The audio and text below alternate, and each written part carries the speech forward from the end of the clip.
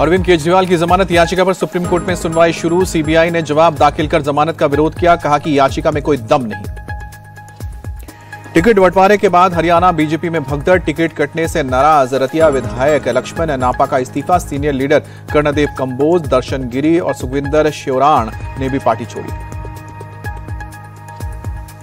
हरियाणा के लिए आज आ सकती है कांग्रेस की पहली लिस्ट। राहुल गांधी से मुलाकात के बाद रेसलर विनेश फोगाट और बजरंग पुनिया के चुनाव लड़ने के आसार बढ़े। आपसे गठबंधन पर सीटों को लेकर फंसा पेच सिंगापुर की संसद में प्रधानमंत्री मोदी का औपचारिक स्वागत किया गया। द्विपक्षीय वार्ता में सेमीकंडक्टर को लेकर दोनों देशों के बीच समझौता, वैश्विक मुद्दों पर मंथन।